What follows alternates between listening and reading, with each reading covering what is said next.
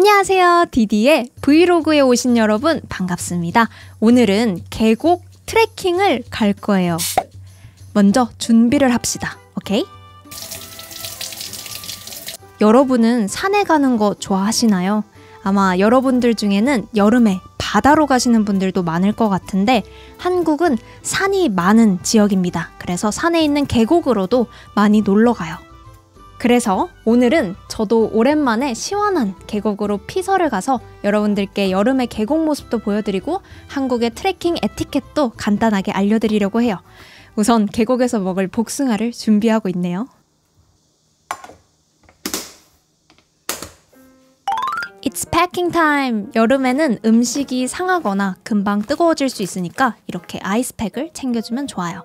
저는 시원한 얼음물과 복숭아를 챙겼습니다. 그리고 혹시나 갑자기 과자가 먹고 싶을 수도 있으니까 과자도 챙겼고요.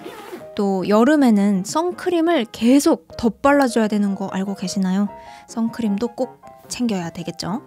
다음으로는 수건, 갈아입을 옷, 또 쓰레기 담아서 버릴 봉지, 마지막으로 돗자리까지 챙겼는데요. 돗자리는 이렇게 생겼고 사실 이번 여행에서는 쓰지 않았어요. 이게 은근히 엄청 무거웠습니다.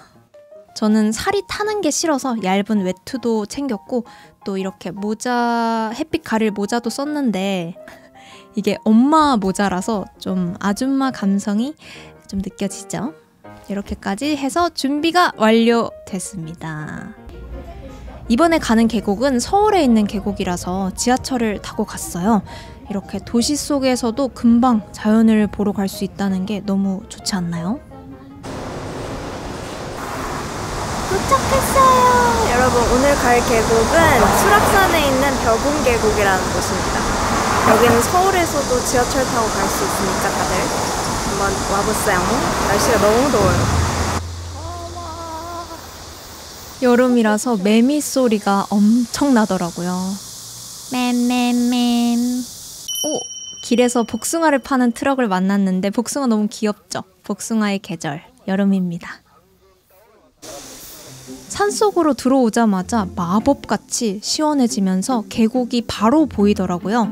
이렇게 벌써 계곡에서 노는 사람들을 볼 수 있었어요. 돗자리 깔고 시원하게 여름을 즐기고 있네요. 하지만 저는 사람이 많이 없는 곳으로 가고 싶어서 조금 더 올라가 봤어요.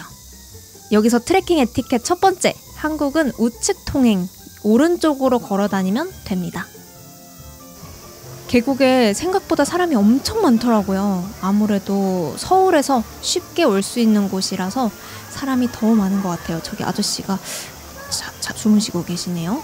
이렇게 텐트 붙이고 놀고 있어요. 보드게임 같은 것도 가져와서 하나 봐.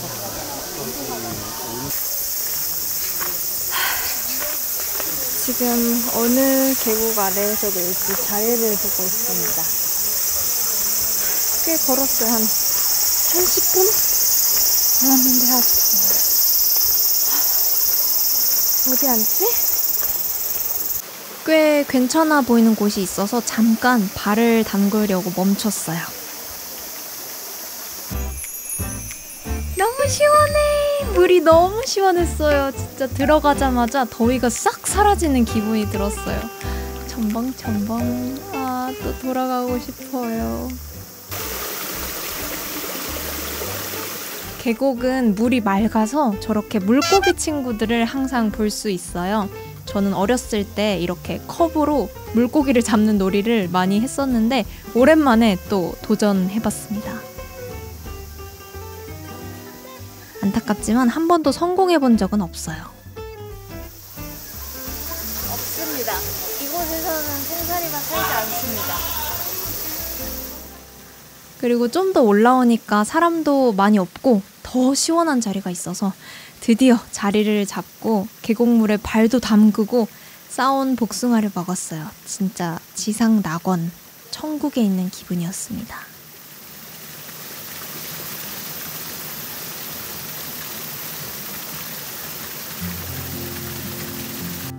오, 오, 여기서 두 번째 에티켓 팁입니다. 이렇게 도시락 용기를 집에서 가져오면 쓰레기도 생기지 않고 그대로 집에 들고 가면 돼요. 그래서 일회용품보다는 도시락 통을 챙겨오는 게 더 편합니다.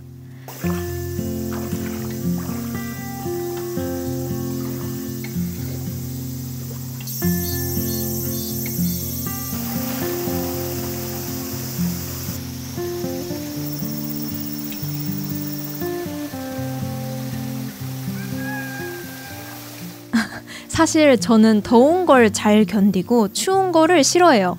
이날도 엄청 더운 날이었는데 계곡물이 저한테는 너무 차갑더라고요. 여름에 계곡에 오시면 정말 엄청나게 시원합니다. 여러분들도 계곡으로 오세요. 자, 지금부터 내려갈 건데 저희가 먹은 것들을 정리하고 산에 보시면 저렇게 곳곳에 쓰레기가 있어요. 누가 고양이에게 밥을 주셨나 봐요. 혹시 plogging이라고 들어보셨나요? plogging은 줍다라는 뜻의 스웨덴어 plocka upp 그리고 조깅을 합친 단어인데요. 쓰레기를 주우면서 조깅하는 activity를 의미해요. 그런데 요즘 한국에서 이 플로깅 운동이 자주 보이더라고요. 그런데 한국에서는 그 플로깅을 쓰레기 줍깅이라고 부르기도 한답니다. 줍깅. 그래서 저는 이렇게 산에 온 김에 쓰레기 줍깅을 좀 하면서 내려가 볼까 생각 중이에요. 아까 챙겨온 비닐에 내려오는 길에 눈에 보이는 쓰레기만 주었어요. 영어로는 플로깅, 한국어로는 쓰레기 줍깅.